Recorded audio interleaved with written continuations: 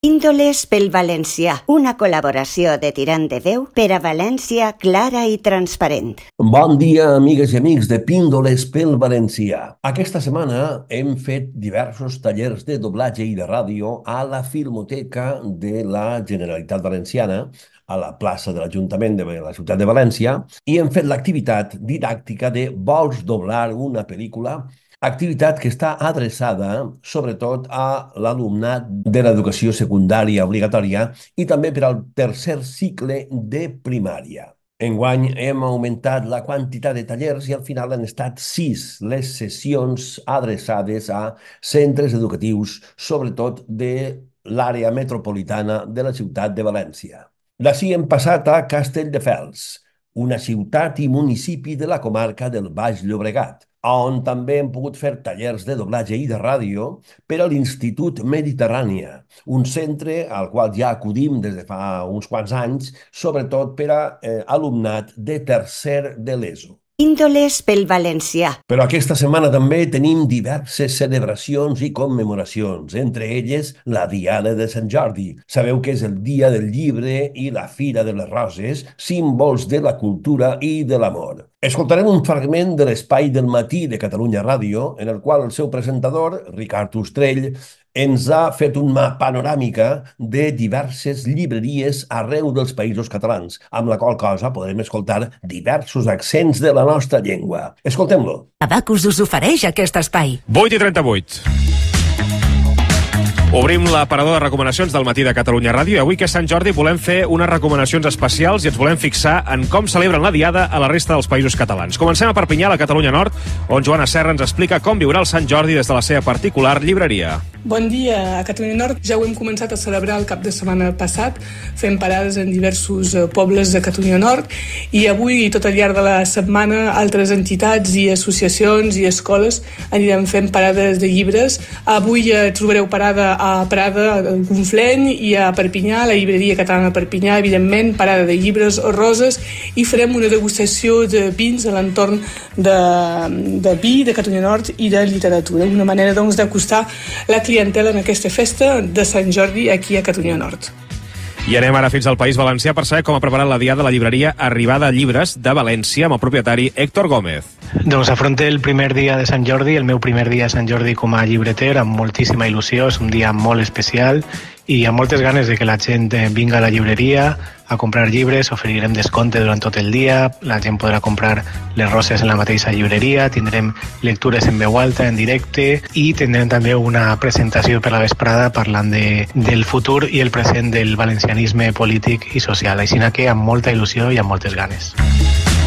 I seguim ara a les illes. Jo no sabia, jo també m'adonaries manuals de geografia, sent dilluns sos un dibuix. Perquè hem parlat amb Miquel Ferrer de la llibreria Rata Corner de Mallorca per saber com viuran també la diada.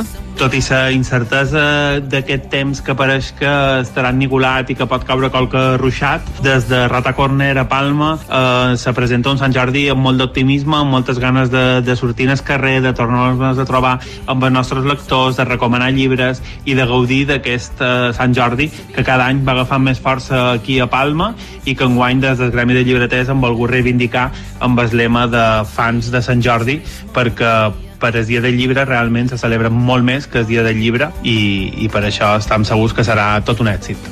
I un èxit que també es viu des de fa dies ja a la llibreria, la gran llibreria va de llibres de Menorca de Ciutadella, tal com ens explica la seva propietària, Dolors Boadella. Una salutació des de Menorca. Som la llibreria va de llibres de Ciutadella i aquí ja fa dies que les llibreries estem celebrant el Sant Jordi, a la plaça d'Esborn. Això sí, al cap de setmana amb un temps de primavera i ballant fandango i ara doncs amb una tramuntanada, un fred i aigua. Un temps que ha alterat les activitats que teníem previstes. Però les llibreries estem aquí, a la plaça, aguantant, amb il·lusió, totes les novetats i recomanacions literàries per a celebrar el Sant Jordi amb tots els nostres lectors. Us hi esperem! I acabem aquest aparador amb la Carla des de l'Alguer, a Sardenya, que també ho té tot a punt per celebrar el dia de Sant Jordi. Farem uh, diverses activitats fins al dia 24 i també eh, dos dies a maig, el 3 i el 4 de maig. I farem uh, presentacions de llibres, presentacions de jocs, llibres en italià, llibres en algarès, llibres en català i a més eh, a les botigues s'ha fet un concurs eh, per fer la vitrina, la vitrina literària més vella. Índoles pel valencià. També, com sabeu, aquesta és la vuitena setmana per la llengua als països catalans que organitza la FOLC, la Federació d'Organitzacions per la Llengua Catalana. A més a més, en aquesta setmana també commemorem la batalla d'Almansa, el 25 d'abril, batalla que tingui lloc el 1707 i que va suposar la pèrdua dels nostres furs en la guerra de successió a la corona d'Espanya. Bé, així vos deixem l'enllaç de la Viquipèdia que mos parla de la batalla d'Almansa. Ja ho sabeu, quan el mal ve d'Almansa, a tots alcança. Per això també volem esmentar-vos totes les activitats que tindrà eh, l'Organització d'Acció Cultural del País Valencià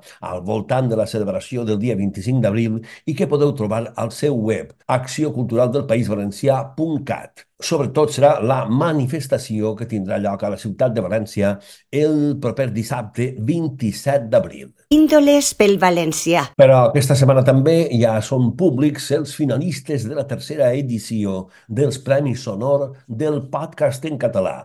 Els guanyadors de les diferents categories, escollits d'entre més de 200 candidatures, s'anunciaran durant la gala d'entrega de premis que tindrà lloc el 29 d'abril, dilluns vinent, a l'Auditori 1899 de l'Spotify Camp Nou, el camp del Futbol Club Barcelona. Val a dir que si entreu a sonor.cat, al web dels premis, tindreu una relació dels finalistes que són fantàstics. Eh, podcast de tota mena, podcast de ficció, podcast de narrativa no ficció, d'entreteniment, conversacional, etc etc.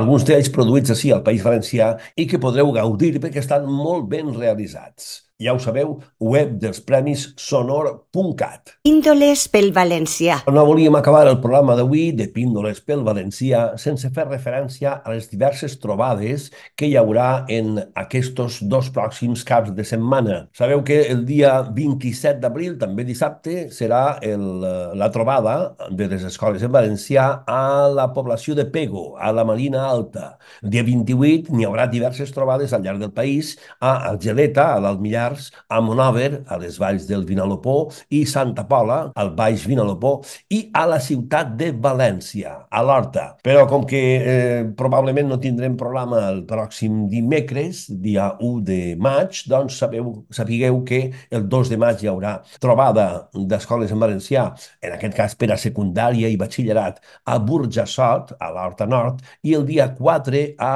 les poblacions de Novel·là, a la costera, al costat mateix de Xàtiva, i al Bocàsser, al Maestrat. Per tant, ja ho sabeu, trobades 2024, fem poble, parlem valencià.